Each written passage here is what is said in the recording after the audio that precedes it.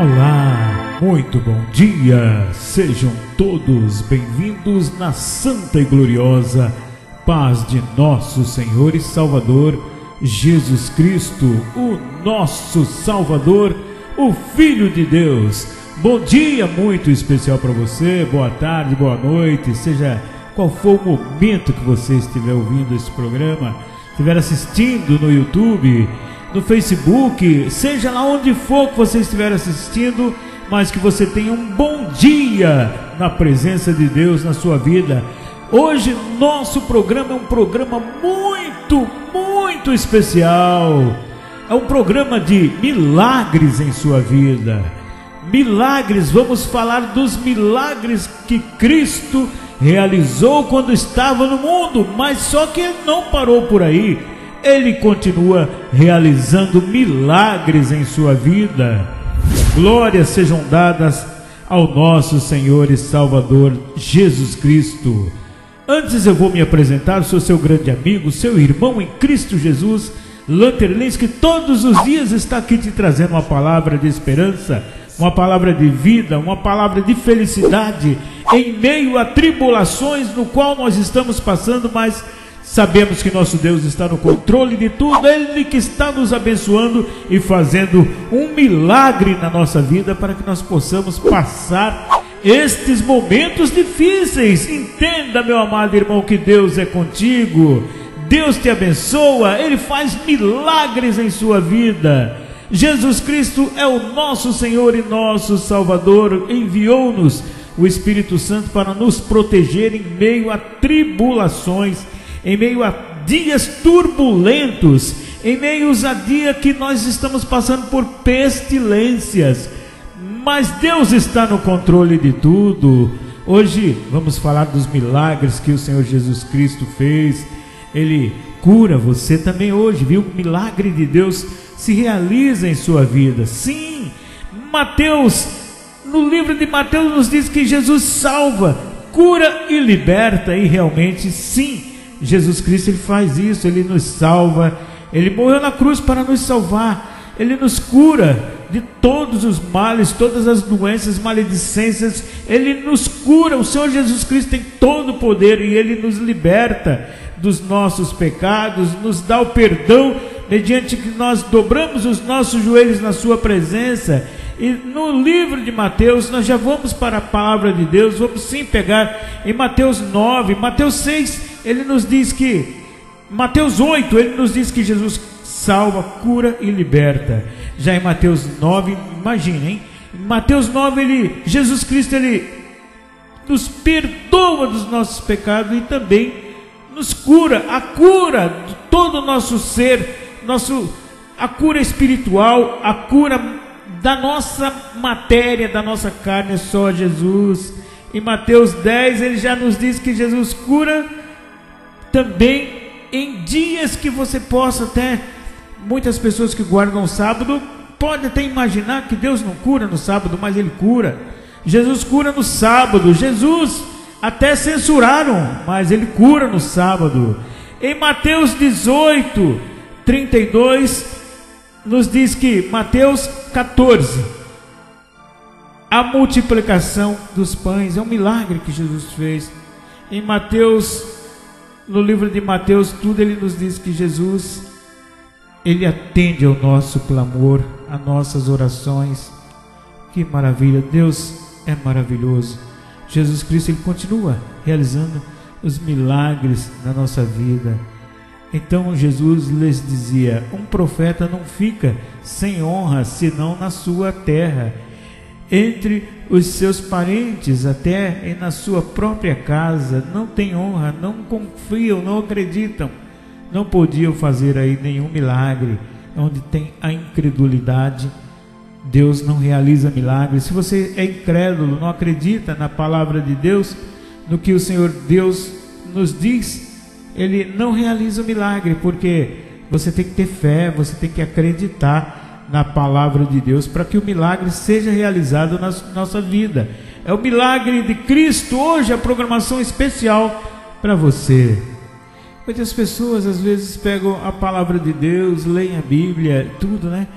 Mas você tem que dá uma paradinha, medita bem naquele capítulo, naquele versículo. Nós estamos hoje no livro de Marcos, Marcos 6. Nós vamos falar dos milagres de Jesus. Saiu Jesus dali e foi para a sua terra, e os seus discípulos o seguiam. Precisamos seguir a Cristo. Ora, chegando o sábado, começou a ensinar na sinagoga, e muitos ao ouvi-lo e se maravilharam com a palavra de Deus, dizendo: de onde lhe vêm estas coisas? O que, que, sabedoria é esta que é dada a ele? E como se fazem tais milagres por suas mãos? Cristo realizava milagres que muitas vezes, muitos anos não aconteciam nada, mas quando ele chegou, ele fez, ele realizou. Não é este o carpinteiro, filho de Maria, irmão de Tiago, de José, de Judas e de Simão? E não estão aqui entre nós suas irmãs? Escandalizavam-se dele. Meu Deus do céu, né? Então Jesus lhes dizia: um profeta não fica com honra, com honra, senão na sua terra, na sua casa, entre os seus parentes e na sua na sua própria casa o profeta não tem honra e não podiam fazer e não podia ali, no caso o Senhor Jesus Cristo, mediante a, a incredulidade daquele povo, não podia fazer ali nenhum milagre. A mão a, não, a mão de Deus tinha todo o poder para curar, mas mediante a incredulidade até dos seus parentes não acontecia nada. Por exemplo, você prega, fala de Deus, às vezes você dá o testemunho, mas na sua casa as pessoas às vezes não aceitam. Não aceita você, porque conhece tua vida, já sabe como você é. Às vezes você não faz nada de errado, mas para eles é um parente, é alguém na casa, então não tem como você realizar uma oração, milagre, mas você tem que fazer isso. Não pode dar ouvidos a incrédulos, as pessoas que não acreditam em você, não acreditam na palavra que você traz, palavra enviada por, pelo Senhor nosso Deus a você. Você tem que ser sincero também, né? Se você for um picareta dentro da sua casa, você está contra o Evangelho de Cristo. Então você tem que ser uma pessoa íntegra, uma pessoa, um servo de Deus mesmo. Aí você não precisa se preocupar com as pessoas incrédulas. E no caso, Jesus Cristo ali não podia ali fazer nenhum milagre porque eles não acreditavam em Cristo, a não ser curar alguns poucos enfermos, impondo-lhe as mãos, e admirou-se da incredulidade daquelas pessoas que, se, que o rodeavam, né? E em seguida percorria, percorria as aldeias, as circunvizinhanças, ensinando e chamou a si os doze, seus doze discípulos e começou a enviá-los de dois a dois e dava-lhes poder sobre os espíritos imundos.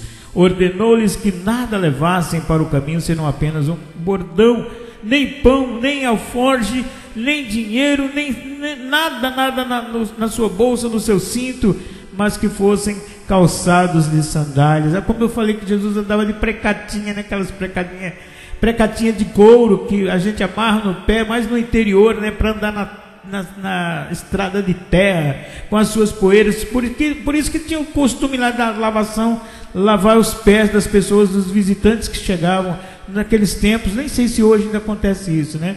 E que não é, vestissem nem as duas túnicas, não vestissem. Dizia-lhe dizia mais: de onde quer que entrares numa casa, fica nela até sair daquele lugar. E se qualquer lugar não vos receber, nem os homens os ouvirem, você vai, saindo dali, sacudir o pó que estiver debaixo, meu Deus, dos vossos pés, em testemunho contra eles. Então saíram e pregaram em, para que todos se arrependessem Pregaram em todos os lugares a palavra de Deus. O que, que o Senhor Jesus Cristo nos ensina aqui? Ele, junto com os seus discípulos, ele chamou os seus doze discípulos. Chamou-os. E quando o Senhor chama, é ordenado, é, é autoridade, é ordem, é respeito. E o Senhor disse para eles: Olha, vocês vão a todas as aldeias, em todos os lugares, e pregai o evangelho do reino de Deus o Senhor Jesus Cristo falou: Eu vou te dar poder para você expulsar demônios, curar os enfermos, e vai fazer acontecer milagres, e muitas coisas vocês vão fazer, mediante a palavra de Cristo aos seus discípulos. Mas vocês vão, o que acontece? Vocês não vão levar nada, só possivelmente a roupa do corpo, só roupa. Não leve nada, não leve nada para comer, não leve nada de dinheiro, não leve bolsa, não leve nada, vai limpo, sem nada. E vocês vão, por quê? Você tem que acreditar, você tem que confiar que Deus suprirá todas as suas necessidades. Você está num trabalho, você vai evangelizar e talvez a gente não sabe, mas geralmente em aldeias vai para longe e não volta às vezes no mesmo dia, né? E o Senhor diz: você vai pregar o Evangelho com toda a autoridade que o Senhor Jesus Cristo está dando para essa pessoa. E não é diferente para nós hoje, não. Hoje nós temos a autoridade do Senhor Jesus Cristo, que ele disse naquele tempo: ide por todo mundo e pregai o Evangelho. Hoje em dia você não pode ficar mudo, não pode ficar quieto, você tem que ser testemunha de Cristo. Você tem que evangelizar, pregar a palavra de Deus. E eles foram foram, e o Senhor diz: se você chegar em algum lugar, em algum lugar, em alguma aldeia, e não te receberem, você sacode o pó daquela. aquele lugar que não te recebeu, até o pó você sacode, não traz o pó daquele lugar lá. Que coisa, né? Meu Deus do céu, viu?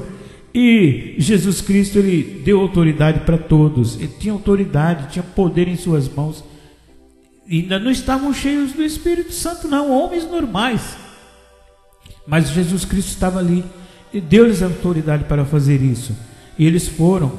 E eles, quando voltaram, eles diziam assim: Senhor, até os espíritos imundos no, nos submetem, eles obedecem e eles são expulsos, as pessoas ficam curadas, muitos milagres aconteceram.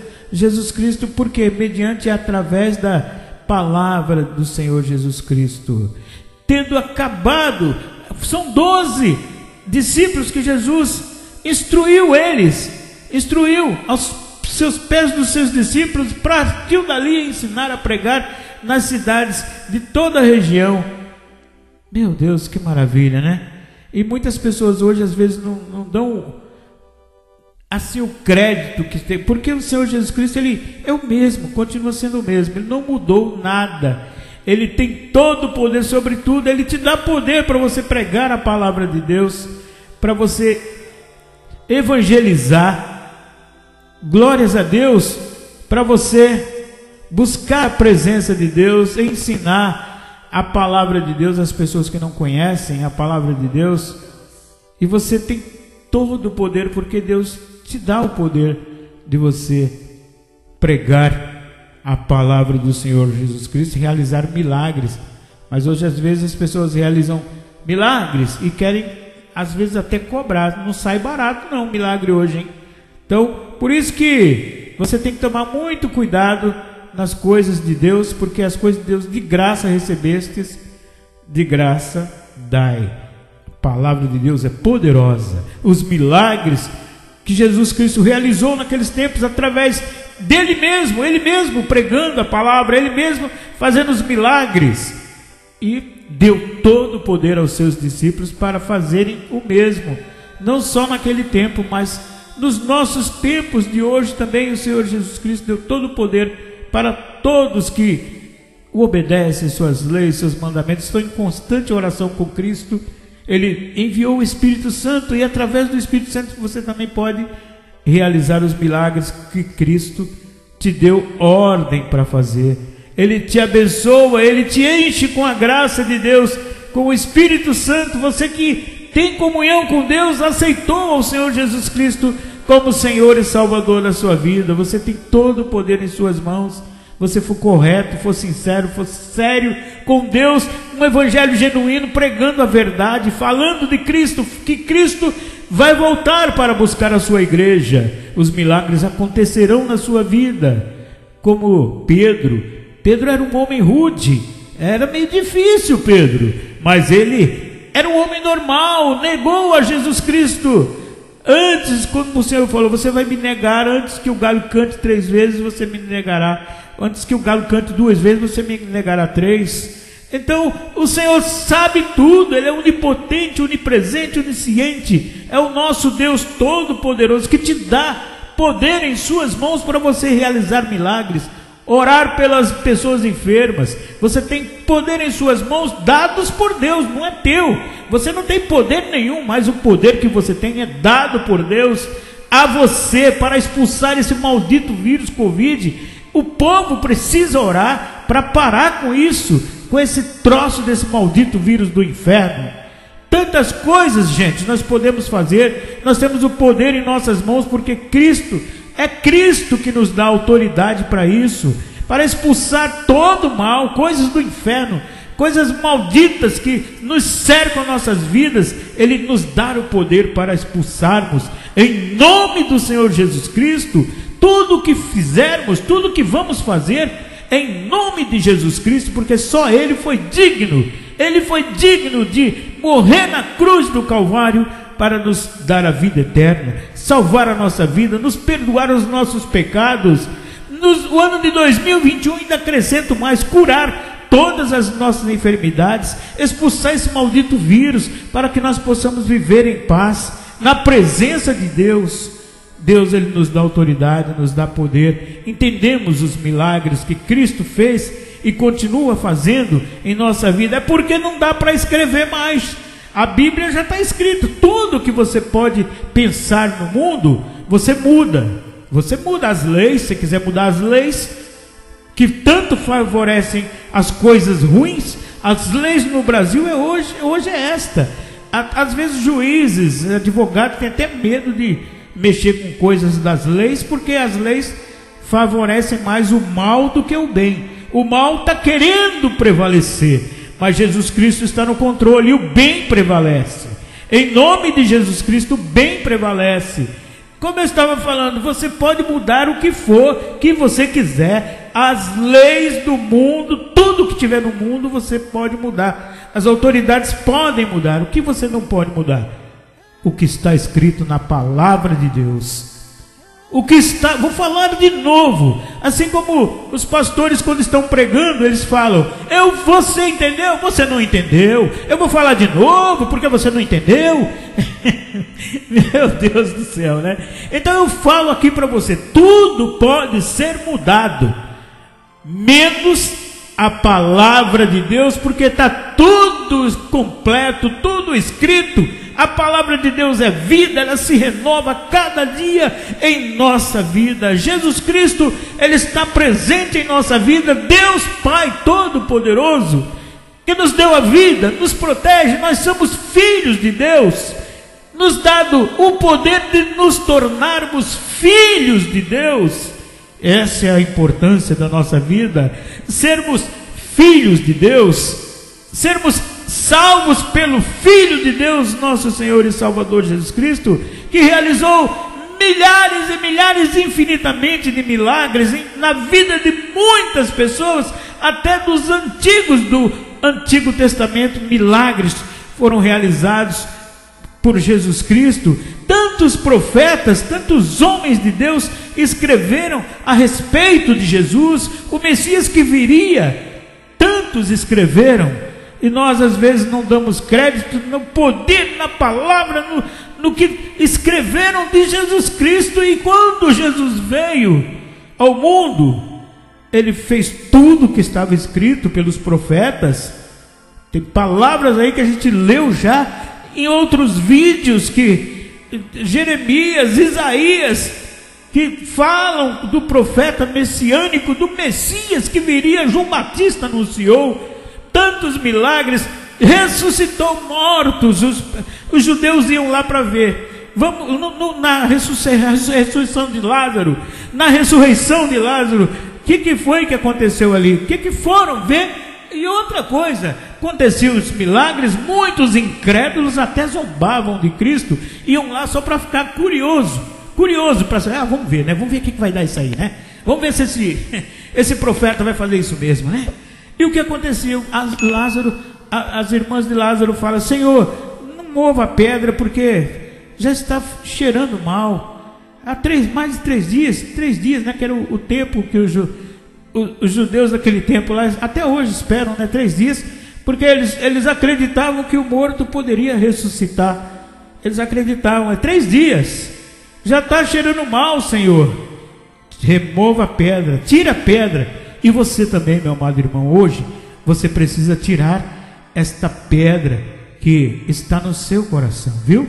Às vezes você não percebe, mas você tem uma pedra no seu coração impedindo você de que o milagre sejam realizados na sua vida, viu? Você precisa remover esta pedra, igual aquela música nos diz. É, remove a pedra, ama pelo nome, aquela lá, né? Não sei cantar. Mas, meu Deus do céu, viu? Então, o que acontece é que você precisa tirar esta pedra que está no seu caminho, dentro do seu coração, impedindo de que o milagre seja feito na sua vida. Jesus, ele, quando ele chamou Lázaro, vem para fora. E Lázaro veio pulando, porque as ataduras estavam amarrando até os seus pés. Lázaro veio pulando, os curiosos, os que estavam ali justamente para ver o que Jesus iria fazer, porque Jesus demorou três dias e Lázaro veio, ressuscitou. E o que acontece? Aquelas ataduras ele veio pulando e chegou, e o milagre aconteceu. Jesus curou, ressuscitou Lázaro. O que, que eles deveriam fazer? Aqueles homens curiosos que estavam lá eles deveriam dobrar os seus joelhos, cair de joelhos e saber se realmente é Deus. Eles, na realidade, mudaram o seu coração e tentaram matá-lo, até ali mesmo, se fosse possível, porque o homem é mau, o homem é terrível, mas, meu Deus do céu, Deus amou, o, quando ele fala o mundo, Deus amou o mundo de tal maneira, o mundo somos nós que estamos no mundo. Deus amou o mundo de tal maneira que deu seu Filho unigênito Jesus Cristo, para que todo aquele que nele crê não pereça, mas tenha a vida eterna. Muitas coisas de milagres, muitas coisas que acontecem na nossa vida. Às vezes nós nos afastamos de Cristo, nos afastamos de Deus, não, não deixamos, não permitimos que o Espírito Santo viva em nós. O Espírito de Deus precisa viver em nós. Então essas coisas aí, você veja bem, tudo é área espiritual. É tudo área espiritual. Os milagres que Cristo faz em nossas vidas hoje é milagre espiritual. O inimigo de Deus, ele tenta impedir, assim como tentou impedir a bênção de chegar até Daniel, um homem que orava três vezes ao dia. Quantas vezes você ora ao dia buscando a Deus? Deus está te alimentando sua casa, te dando prosperidade de bênção financeira na sua vida, te dando prosperidade de saúde, te protegendo contra todo mal, te protegendo, protegendo contra a Covid, protegendo você de todas as situações de acidente, às vezes bala perdida, assaltos, de todo mal, o Senhor está te protegendo. Mas Jesus, ele é espírito, meu amado irmão.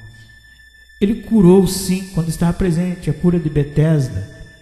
Ele curou quando a sogra de Pedro estava enferma, com febre, ele curou.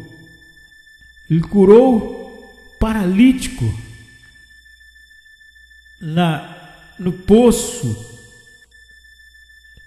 Ele curou também a filha do soldado romano, que na, no caso aparece aquela parte: Senhor, eu não sou digno de que tu entreis em minha casa, mas direi dizei uma palavra, eu serei salvo. O filho da viúva de Naim ressuscitou. Muitos milagres Cristo fez. A mulher do fluxo de sangue, a prostituta que se arrependeu, Cristo falou: vai e não peques mais. A filha de Jairo, Jesus curou tantos. Meu Deus, como o Senhor Jesus Cristo fez tantos milagres, curou o cego de Jericó, ele faz milagres hoje. O tanque de Betesda, já falei. O paralítico de Betesda, no qual estava esperando há 38 anos aproximadamente. Eu, eu acho que é isso aí, não tenho certeza, mas pegue a Bíblia e você vai ver. Esperando um milagre há 38 anos, gente. Mas ele disse: Eu não tenho, Senhor, Quando Jesus chegou para ele, ele disse: Senhor, eu não tenho como ir até o tanque, porque eu não posso sair daqui, ninguém me leva. É assim que as pessoas pensam no outro. É um, é um forte exemplo. Você saber que ninguém está aí para você, só Deus mesmo por nós. É só Deus, meu amado irmão. Se você está com problema e, tá, e você precisa se locomover, você igual na situação desse paralítico, não tem como ele chegar até o tanque, porque ele não anda, ele é paralítico, ele é acamado.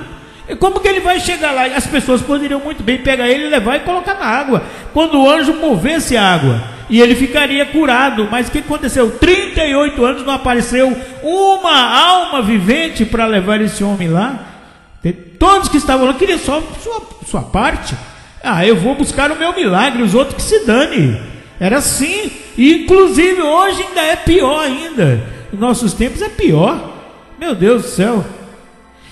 Oh, meu Senhor, paralítico de Cafarnaum, que lembra do paralítico de Cafarnaum que a, aí sim, aí eu falo para você que é milagre de pessoas que têm Deus no seu coração, pessoas que pensam no próximo. O que, que foi que aconteceu? O paralítico, Jesus entrou na casa e cheia a multidão estava dentro da casa já, já estava lá dentro, junto com Jesus Cristo. Daqui a pouco eles olham lá em cima e vê o telhado se abrir.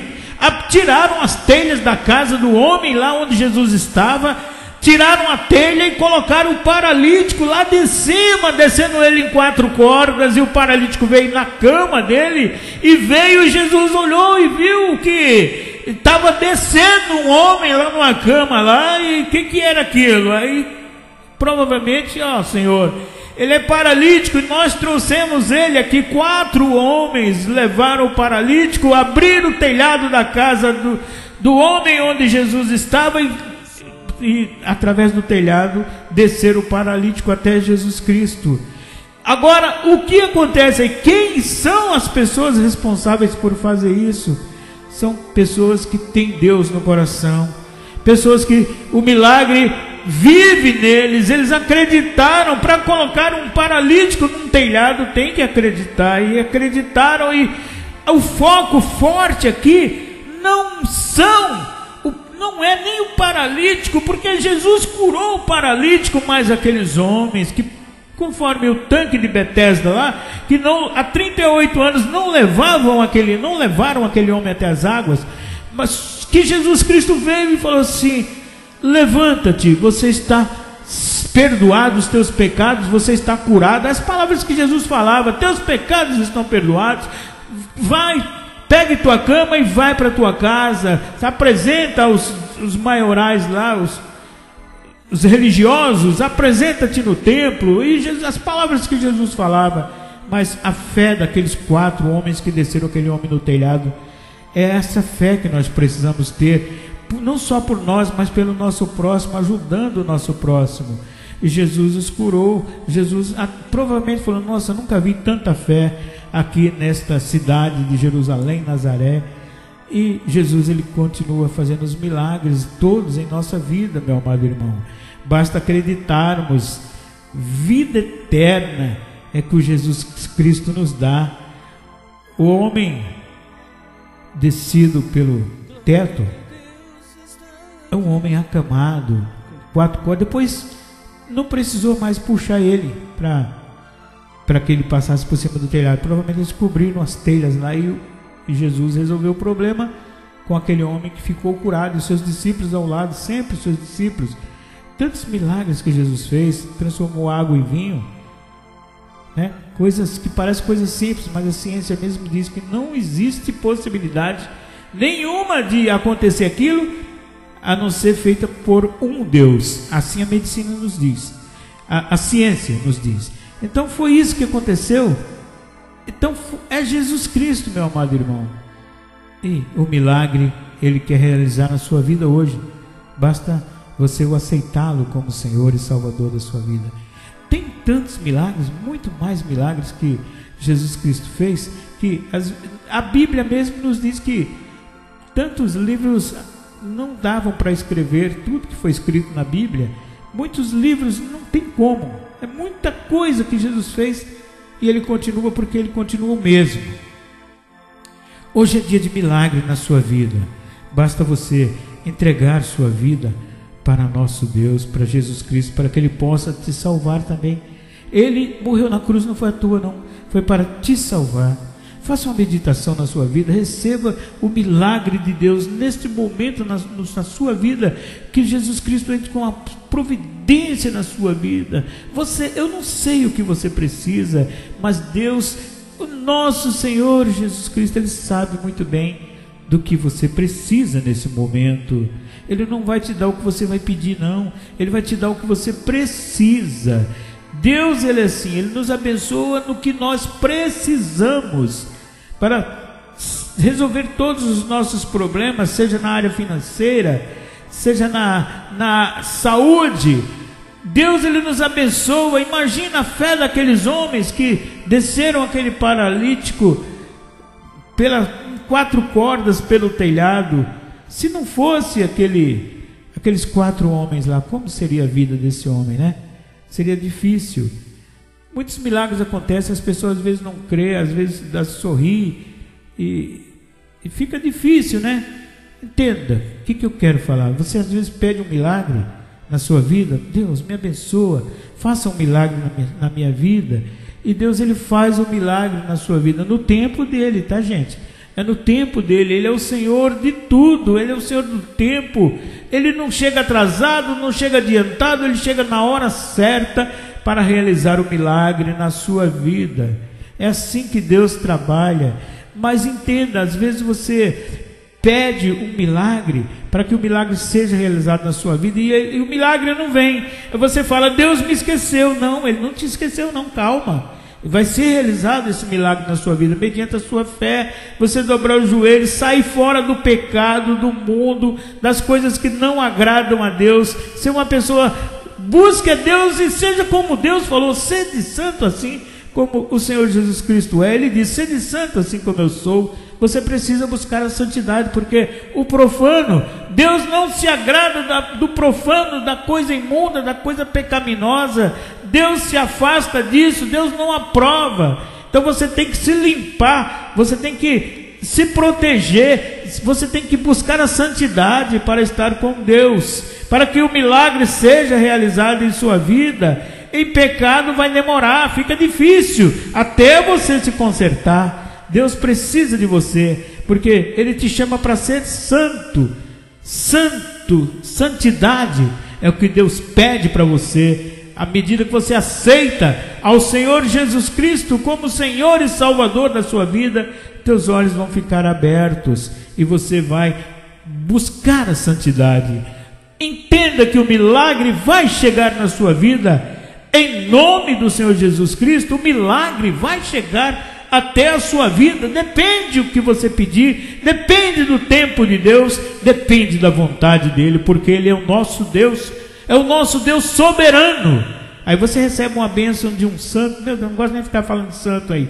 Recebe a bênção de um santo e acha que foi o santo, né? Não foi o santo, foi Deus que deu para você. Entendeu? Mas você vai agradecer o santo. É injusto você.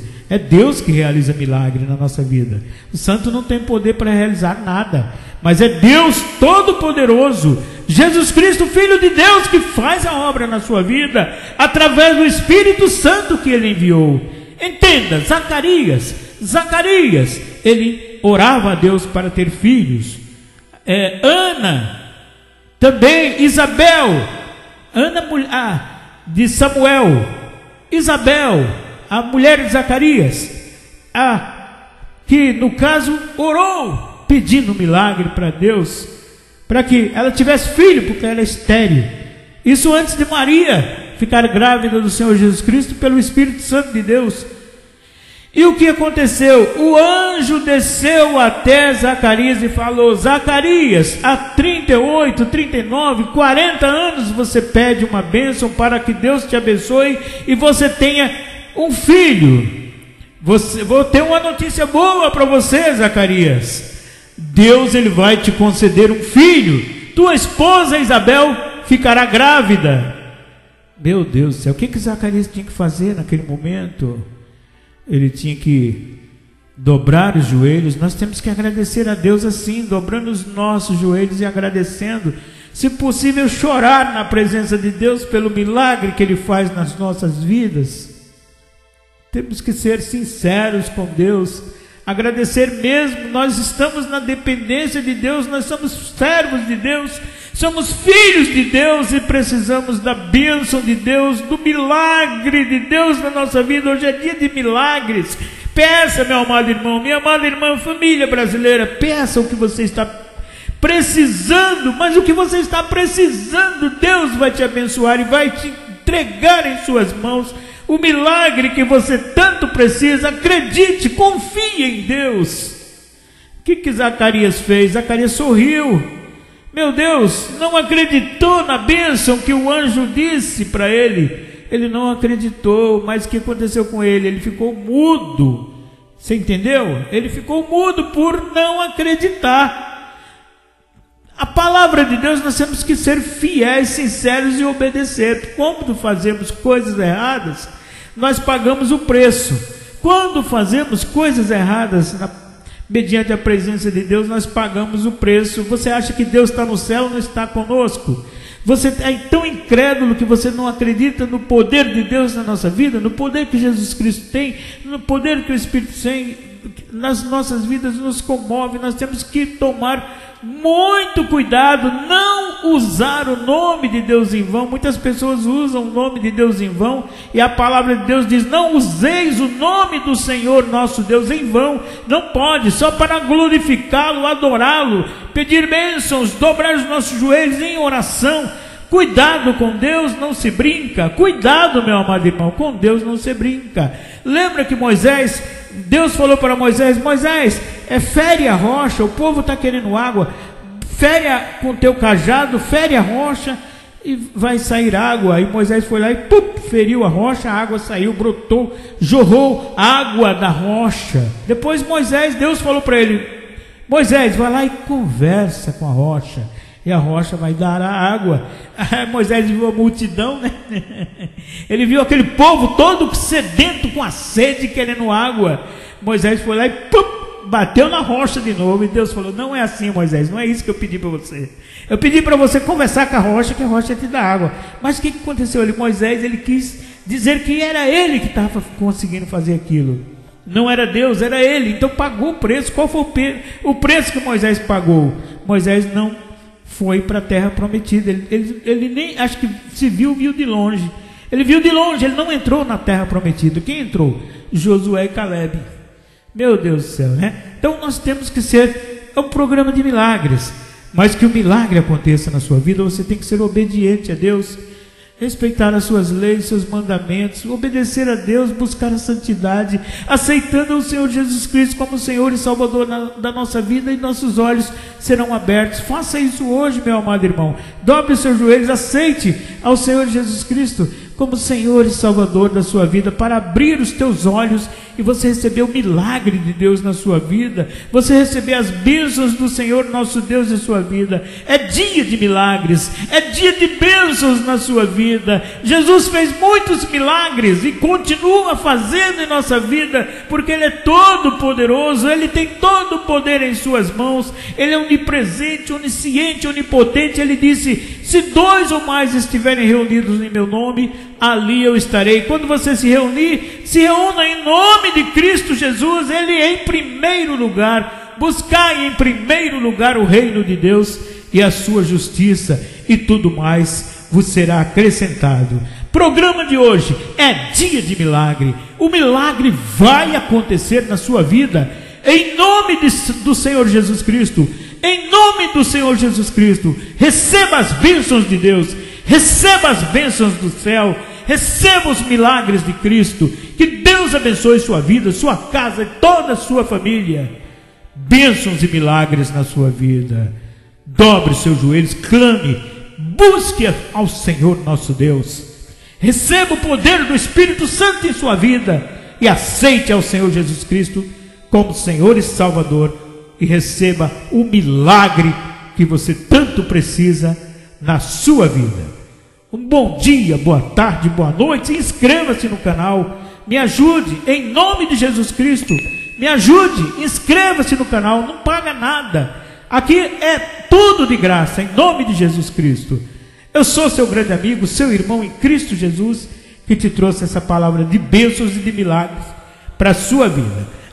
Próximo programa, tem mais dois vídeos aí, assista e me ajude, tá bom? Inscreva-se, clica no sininho e compartilhe. Deus abençoe você, a paz do Senhor esteja em sua vida, realizando muitos milagres para você.